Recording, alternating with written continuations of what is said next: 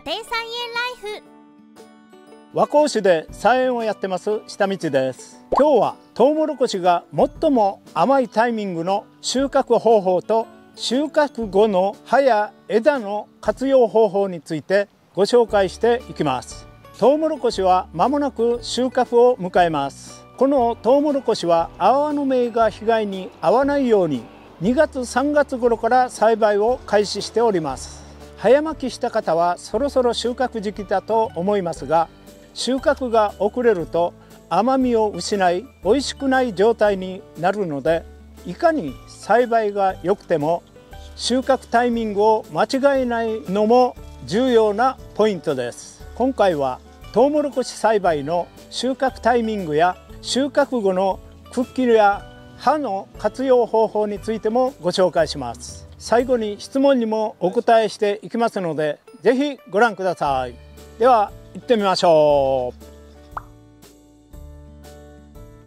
それではトウモロコシ栽培の早巻きのポイントについておさらいをしていきましょう。この方法は泡の銘柄の被害に遭わないように2月から3月にかけて種まきをしていきます。収穫まで34ヶ月かかりますので非常に時間はかかりますけども無農薬できれいにトウモロコシができますのでおすすめの方法です。来年ぜひ試してみてください。ポイントをご紹介していきましょう。一つ目防寒対策です。防寒対策は種まきの時期から発芽時期に非常に防寒が大事になってきます。トウモロコシは当該に合いますと枯れてしまったり背丈が低いうちに花が咲いたりして失敗する可能性がありますので非常に防寒が重要になってきます。ビニールトンネルや不織布を何枚もかぶせて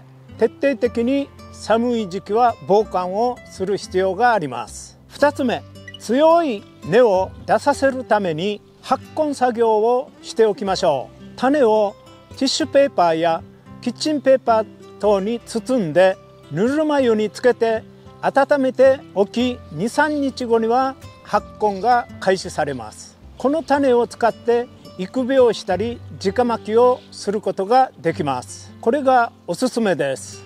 発芽率も良く強い根が育つのでやってみてください。それでは実際のトウモロコシの状況を見ていきましょう。それではまずトウモロコシを見ていきますが先日アライグマかハクビシンの被害に遭って獣害ネットなどを二重にしました。すすの部分も完全に土で埋めておいたんですがこれによって被害がなくなりました。昨年は収穫タイミングで全て食べられてしまったんですがそのような被害もなかったので一安心です。一部収穫前に被害に遭ったものもありますが全滅してませんので収穫してみましょう。ではまずネットから外してみます。二重にしたのが良かったのかまず被害に遭っておりません。下の方もこのように土に埋めたり U ピン等で押さえて隙間がないように設置しましたので害獣も入ってきておりません。昨年はもうそろそろ明日頃は収穫しようかなと思ったタイミングで全部害獣にやられましてがっかりした記憶があります。今年の対策は結果が出ましたのでなんとか収穫することができます。来年は早めにやっておきたいと思います。これからトウモロコシ収穫の方は十分注意してみてください。本当に収穫のベストタイミングに食べにやってくるんで気をつけてください。このように一部被害が出ておりますが全滅しなかったので良かったと思います。このようにトウモロコシのひげ根が黒くなってきたら収穫タイミングですがこのチェック方法をやっていきましょう。それでは実際に収穫のタイミングについてご紹介します。見ていただきたいのはひげ根の黒い部分です。ここが全般的に茶色くなってきたら収穫時期だと思ってください。難しいのは早すぎてもダメですし遅いのもダメです。ピンポイントでトウモロコシというのは収穫するのが一番美味しく食べられるタイミングでありますのでその辺をよく見て収穫してみてください。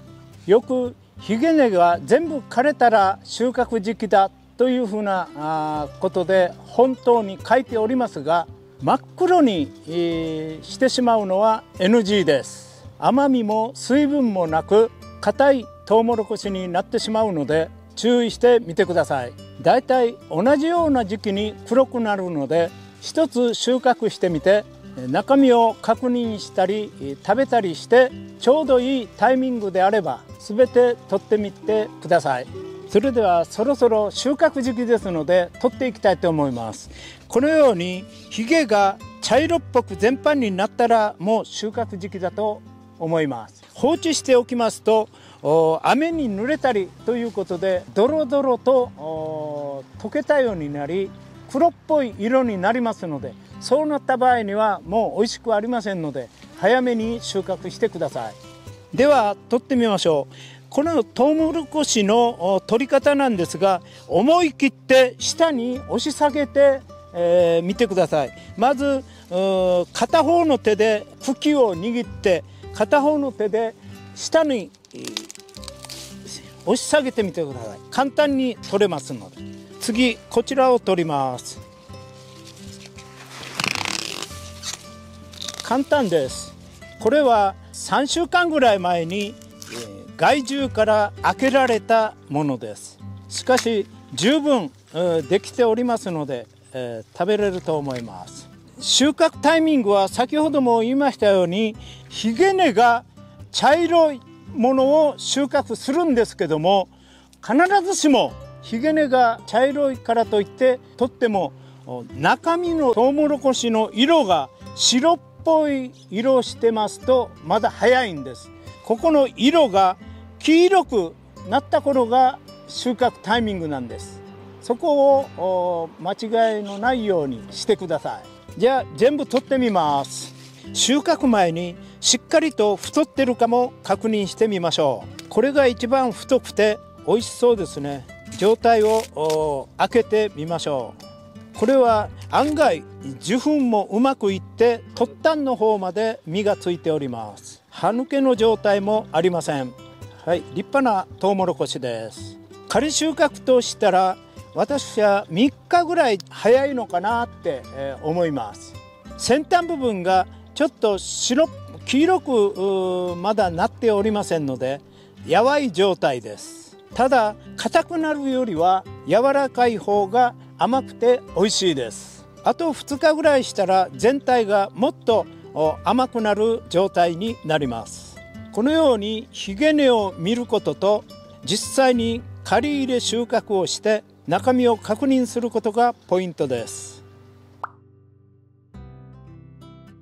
ということで収穫作業をしましたがこちらに残ってる葉や茎の活用方法についてもご紹介します。このようにカットしてこれを乾かします。それを細かくしてうねまなどにすき込んでやるとこれが土に戻りいい土壌の状態になります。深い部分にすき込むと水はけも良くなり通気性も改善します。処分するのではなくぜひ畑などのうねまに戻してください。このまま投入しますと分解に時間がかかりますので乾燥させて細かく切ってから投入してみましょう。それでは質問コーナーです。それではコメントにご返信していきます。こちらのトマトの栽培にコメントをいただきました。教えてください。脇芽だけでいいですか？というコメントをいただきました。これは芽かきは脇芽だけでいいですか？というご質問かどうかもしかしたら間違っている可能性もあるんですが回答させていただきます。基本は脇芽のカットだけでいいです。いいトマトを育てる場合に適化作業をするといいでしょう。小さい実は摘んでしまって大きい実に集中させる方法です。芽かきかきとともにやってみてください。また下葉かきなども忘れずにやってみてください。頑張ってください。今日はトウモロコシの収穫タイミングと茎や葉の活用方法についてご紹介しました。この動画が面白かった方はチャンネル登録といいねボタン押してください。ではまた。バイバーイ。